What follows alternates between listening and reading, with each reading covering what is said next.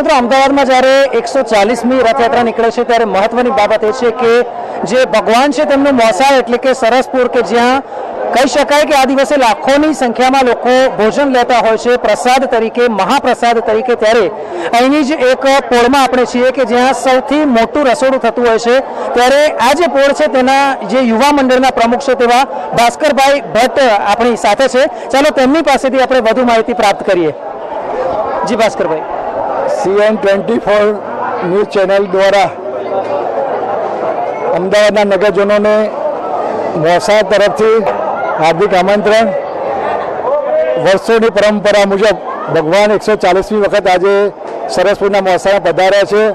લાખોની સંખ્યામાં અમદાવાદ તો કહું અમદાવાદના સરાઉન્ડ લગભગ માનો પચીસ ત્રીસ કિલોમીટરના નજીકના ગામડાઓ સરસપુર વિસ્તારમાં આવે છે. એનું મુખ્ય કારણ એવું છે કે ભગવાન અગિયાર, સાડા અગિયારની વચ્ચે અને ગજરાજ હાથીઓ સાથે પધરામણી ચાલુ થાય છે અને ભગવાન લગભગ એક દોઢ વાગ્યા વચ્ચે અહીંયા સરસપુરમાં આવે છે. ભગવાન નિજ મંદિરે અહીંયા આગળ મોસાના નિજ મંદિરે બે કલાક રોકાય છે. મોસાઓ થાય છે, આરતી થાય છે અને ભાવિક ભક્તો પ્રસાદ લે છે. સરસપુરની લગભગ બાર ચૌદ પોરોમાં નાના મોટા રસોડા થાય છે અને દોઢ પોણા બે લાખ લોકો અહીંયા જમતા હોય છે. એ માનવ સરસપુર યુવા દ્વારા સૌથી મોટું રસોડું, ત્રીસ હજાર માણસનું રસોડું, ભવ્ય રસોડું એ કરવામાં આવે છે. ત્યાં પૂરી શાક બુંદી ફૂલવાડી દાળભાત સાથેનું સરસ મજાનું આયોજન કરીએ છીએ. અમે વિશેષતા એવી છે કે આપણે ઘરમાં પ્રસંગ કરીએ છીએ ત્યારે બુફે ડીશ રાખીએ છીએ, મિનરલ વોટર રાખીએ છીએ. એનાથી વિશેષ અમે આખું રસોડું મિનરલ વોટરમાં બનાવીએ છીએ. ભક્તો જેટલા પણ આવે તે પણ મિનરલ વોટરમાં પીએ છીએ. જે અમે ઘી વાપરીએ છીએ, અમૂલ ઘી અને દેશી ઘી. ડેરીનું ઘી દ્વારા જ અમે ચોખ્ખા ઘીમાં બુંદી બનાવીએ છીએ. ફૂલવાડીમાં પણ અમે એક સિંગતેલ ફિક્સ કંપનીનું બ્રાન્ડેડ નક્કી કર્યું એ બ્રાન્ડેડની ફુલવાડી બનાવે. શાકમાં તો શાકમાં આ કંપનીનું તેલ વાપરે છે.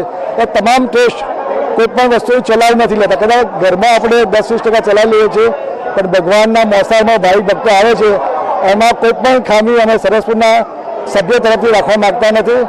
આજે બી અમારા ત્યાં આગળ અત્યારે હજારો લોકો જમી રહ્યા છે આપણી પાછળ.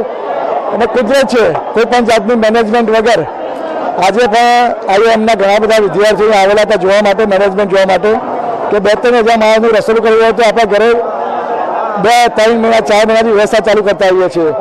આ સંખ્યા આવવાની નક્કી નથી. કોણ કામ કરશે નક્કી નથી, કારણ કે આમાં સજે આ ફંક્શનમાં પાંચસો, સાતસો છોકરાઓની જરૂર પડતી હોય છે. એ આ સરસપુરની ગામની પ્રજા ભગવાન જ કરી શકે છે. સીએન ન્યૂઝ ચેનલ આજે અમારી વચ્ચે બધા તે બદલ સરસપુર વિભાગ તેમનો ખૂબ ખૂબ આભાર માને છે.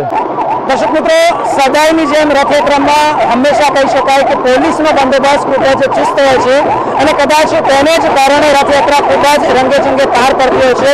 એવા જ એક પોલીસ કર્મી આપણી સાથે છે. ચાલો તેમનો અનુભવ આપણે જાણીએ. સાહેબ, સૌપ્રથમ આપનું નામ જણાવશો. મારું નામ રેંગર સુરેશ મોહનલાલ છે. અમે અહીંયા રથયાત્રાના બંદોબસ્ત માટે આવેલા છે. હીરાભાઈ બિલ્ડિંગ ઉપર અમારો ધાબા પોઈન્ટ છે.